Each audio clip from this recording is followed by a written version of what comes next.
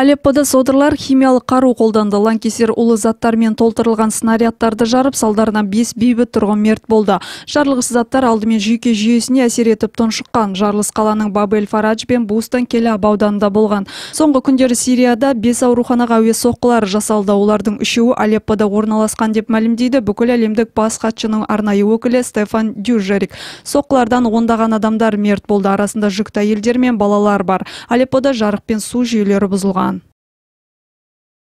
кытайда нида тайфуну күчөйүп салдарынан гонконгдо кор биржаларындагы сауда саттык токтотулду сондай ак жүздөгөн абий сапары кейинге шегерилген шаарда поезд менен автобус козголушу токтоптур желдин жылдамдыгы саатына жүз алпыс шакырымга чейин жетет толассыз жауган нөсер соңу суу таскынына улашуу мүмкүн деген кооп бар. Ал аспан асты элинин оңтүстүгүндөгү гуандун провинциясында нида кесиринен отуз беш миң тургун үйлөрүн тастап кауіпсіз орындарга көчүрүлгөн мектептер кеңселер менен заводдордун эсиги тарс жабык синоптик синоптиктердин айтуунча нида соңку отуз үч жыл ичиндеги эң алапат тайфун болуп отур ливия жағалауында соңғы 10 күннің ішінде 120 адам мерт болған. Бұл туралы көші қон жөніндегі халықаралық ұйым өкілдері хабарлайды деп жазады 24 kz алайда сарапшылар босқындардың неден қаза болғанын анықтай алмай отыр. Олар жағалау қызметінің назарынан тыс қалған кеме апатынан көз мүмкін деген мәлімет бар. Сонымен бірге мигранттардың жерорта теңізіне қандай көлікпен шыққаны да беймәлім.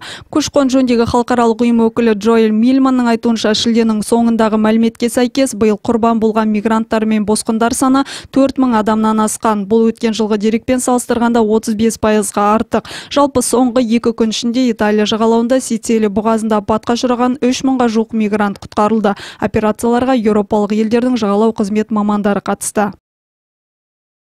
Түрк президенті реджеп тайып эрдоган сейсенбіде батыс елдерін терроризм мен түркиядағы әскери төңкерісті қолдайды деп айыптады. Әсіресе болмай қалған әскери төңкеріске айыпталушы фетхуллах гүленді экстрадициялау туралы арнайы талаптарға жауап бермеген ақшқа ерекше шүйлікті.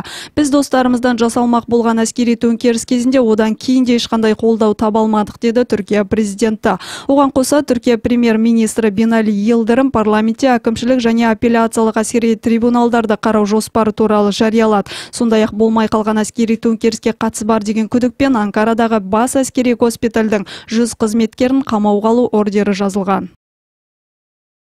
Олимпиада ойындарының алдында бразилия билігі шекара бақылауын күшейтті. Мақсат ойын кезінде шабуылдың алдын алу. Танымал сарқыраманы тамашалауға туристер бразилия парагвай аргентина шекараларының түйіскен жерлері арқылы өтеді. Сондай ақ негізгі қару жарақ контрабандасы да осы жерлерден өткізіледі.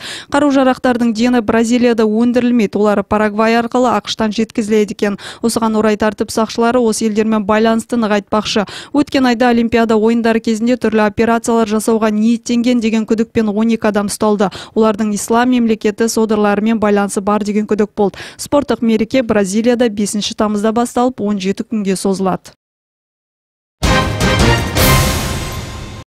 Шаһарымызда терроризм туралы жалған ақпарат берген 26 жастағы ақтөбелік бас бостандығынан айырылды. Ол енді төрт жылын жалпы режимдегі түзету колониясында өткізеді. Облыстық соттың баспасөз хатшысы анар айтшанованың хабарлауынша осы жылдың 23 мамырында сотталушы руслан тыныбеков облыстық төтенше жағдайлар департаментінің 112 телефон номеріне қоңырау шалып қонаев көшесіндегі үйлердің бірінде жарылғыш зат қойылды деп хабар берген. Сөз соңында сотталушы аллах акбар деп айтқан. Ол кінәсін толық мойындады. Ісі үшін өкінетінін айтып кешірім сұраған. Айта кетейік сотталушы ұлттық қауіпсіздік комитетінің облыстық департаментіне 14 мың облыстық төтенше жағдайлар департаментіне 30 мың ал ішкі істер департаментіне 40 мың теңге көлемінде материалдық шығын төлейді. Ол жазасын жалпы режимдегі түзеу колониясында өтейді. Сот үкімі заңды күшіне енген жоқ. Сұйытылған газ бағасы жоғарыласа да тапшылық мәселесі жойылмады. Көгілдір отынды талонсыз қолма қол ақшаға сатып жатқан бекеттердің алдында ұзын сонар кезек. Сәңкібай батыр даңғылы мен ғазиза жұбанова көшесінің қиылысында орналасқан бекеттің алды толған көлік. Бұл жерде көгілдір отынның бір литрі 37 теңгеден сатылып жатыр. Кезекте сағаттап тұруда мезі болған жүргізушілер тапшылықтың себебін білгісі келеді. Баға әлде де жоғарылап кете ме деп алаңдайды. Естеріңізге сала кетейік өткен аптада сұйытылған газдың шекті көтерме бағасы өсті. Бір тонна көгілдір отынның құны 11 мыңнан 33 мың теңгеге көтерілді. Сәйкесінше газ құю бекеттерінде де баға көтерілді. Облыстық әкімдік пен газ желілік ұйымдар бөлшек саудада көгілдір отынның бір литрінің құнын 37 теңгеден ары өсірмеу туралы меморандумға қол қойды. Өңірімізде соңғы айда азық түлік нөл бүтін оннан сегіз пайызға қымбаттаған ал азық түлік емес тауарлар құны нөл бүтін оннан үш пайызға өсті. Облысқа шетелден жеткізілгендіктен қант құны он төрт бүтін оннан жеті пайызға көтерілген. Көкөністер мен жұмыртқа ұн өнімдері де қымбаттады. Ал маусымына қарай қияр қызанақ бағалары жиырма пайызға арзандаған. Күріш төрт бүтін оннан бес айран мен қаймақ құны бір бүтін оннан төрт пайызға дейін төмендеді. Өткен айда облыс бойынша бағалар төмендегідей тіркелді. Яғни қырыққабатқа қырық бес бүтін оннан төрт пайыз сәбізге он бір бүтін оннан төрт пайыз. Бұның себебі яғни жаңа күні өнім шығындарының оңтүстіктен келуіне байланысты түсіндіріледі.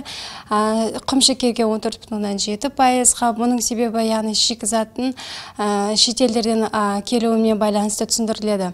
Жұмыртқа он үш бүтін оннан тоғыз пайыз. Бұның себебі шикізаттың көрші ресей мемлекетінен алумен түсіндіреді.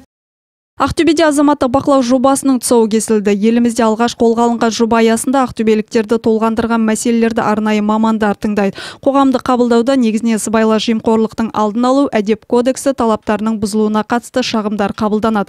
Азаматтардан түскен арыз шағымдар сараланып кейін мемлекеттік қызмет істері министрлігінің ақтөбе облысы бойынша департаментінде қаралады. Күн сайын таңғы сағат тоғыз нөл нөлден кешкі он сегіз нөл нөлге дейін тұрғындар облыстық үкіметтік емес ұйымдар қауымдастығы заңды тұлғалар бірлестігінде мамандардан кеңес ала алады.